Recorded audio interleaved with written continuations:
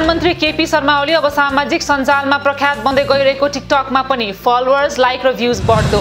लोकतन्त्र गणतन्त्र देशका लागि खाँडो भएको भन्दै राष्ट्रिय शक्ति नेपालको काठमाडौँको माइतीगढदेखि नयाँ बानेश्वरसम्म जनप्रदर्शन राजतन्त्रको माग। नेपाल कम्युनिस्ट पार्टी नेकपाका वरिष्ठ नेता झलनाथ खनालले कुनै पनि हालतमा पनि पार्टी नफुट्ने बताए। पार्टीभित्र लामो समयदेखि चलेको बस देखेर फुट्छ र ठुलो भाग खान पाउँछु भनेर आश नगर्न दिए चेतावनी। नेपाली कङ्ग्रेसका सहमहामन्त्री प्रकाश रन महतले सत्ता सङ्घर्षलाई व्यवस्थापन गर्न सत्तारूढ दल लामो समयसम्म संसद बन्द राखेको लगाए आरोप। पाँच महिना लामो लकडाउन र निषेधाज्ञा खुले पनि आर्थिक र सामाजिक जीवन आफ्नो लयमा फर्किन नसकेको भनाई। एकताको डेढ वर्षमै विभाजित भएको साझा र विवेकशील पार्टीबीच फेरि एकता हुने एकता प्रक्रिया अन्तिम चरणमा पार्टीका संयोजक रविन्द्र मिश्र एकीकृत पार्टीको अध्यक्ष बन्ने र विवेकशीलका अध्यक्ष मिलन पाण्डे दोस्रो वरियतामा रहने गरी संयोजक बन्ने अनौपचारिक समझदारी। प्रमुख प्रतिपक्षी दल नेपाली कङ्ग्रेसका नेता तथा पूर्व रक्षा मन्त्री भीमसेन दास प्रधानले पूर्व राजा ज्ञानेन्द्र शाहलाई पार्टी खोल्न दिए सुझाव। राजतन्त्र फर्काउनुपर्छ भनेर देशका विभिन्न भागमा भइरहेको जुलुस तथा प्रदर्शनलाई लिएर उनले धमिलो पानीमा माछा मार्ने खेल भएको गरे टिप्पणी। सत्तारूढ दल नेपाल कम्युनिस्ट पार्टी नेकपाका नेता वर्षमान पुन अनन्तले विधिसम्मत तरिकाले प्रधानमन्त्री र पार्टी अध्यक्ष दुवै पदको जिम्मा लिन तयार भएको बताए। कोरोना भाइरसको सङ्क्रमणबाट नेपालमा थप उनातिसजनाको मृत्यु। यो सँगै नेपालमा कोरोना सङ्क्रमणबाट मृत्यु हुनेको सङ्ख्या एक हजार पाँच सय आठ पुग्यो।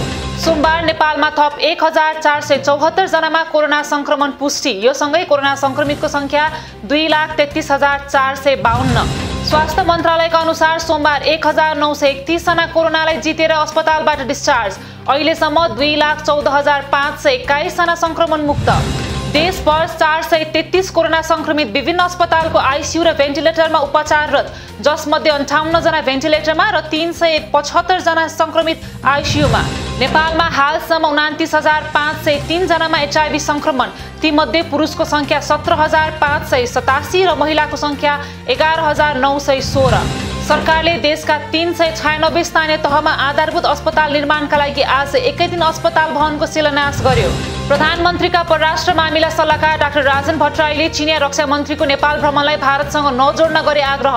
छिमेकीहरूसँग नेपालको सम्बन्ध जहिले पनि स्वतन्त्र हुने उल्लेख गर्दै त्यसलाई तेस्रो मुलुकसँग जोड्ने गल्ती गर्न नहुने भनाई पोर्चुगल पठाइदिने भन्दै रूपन्देहीका दुईजनालाई ठगी गर्ने एक व्यक्ति पक्राउ। पक्राउ पर्नेमा रूपन्देहीको ओम सतिया गाउँपालिका छ घरबै हाल काठमाडौँ सोह्र खुट्टे बस्ने तेत्तिस वर्षीय शिवनारायण चौधरी।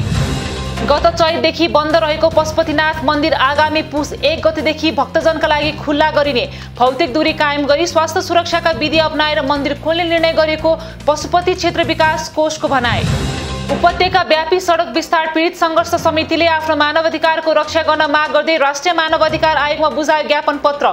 सर्वोच्च अदालतले समेत अवज्ञा गरी राज्यका तर्फबाट सडक विस्तारका नाममा घर भत्काउने र विदाको समयमा पनि डोजर चलाएर समुदायमा आतंक सृजना गर्ने काम तत्काल बन्द गर्न माग उत्तर पूर्वी नाइजेरियामा इस्लामिक स्टेट आतंकवाद समूह बोको हरामद्वारा एक सय दसजना किसानको क्रूर ढङ्गले हत्या। विश्वभर कोरोना सङ्क्रमितको सङ्ख्या छ करोड एकतिस लाख नाग्यो। सङ्क्रमणका कारण हालसम्म चौध लाख सडसठी हजारभन्दा धेरैको मृत्यु। चौबिस घन्टामा पाँच लाखभन्दा धेरै सङ्क्रमित थपिँदा सात हजार तिन सय पाँचले गुमाए ज्यान। भारतमा अहिलेसम्म चौरानब्बे लाख बत्तिस हजारभन्दा बढी सङ्क्रमित एक लाख सैतिस हजारभन्दा धेरैको मृत्यु। चौबिस घन्टामा उन्चालिस हजार धेरै सङ्क्रमित थपिए चार सय चौवालिसको मृत्यु।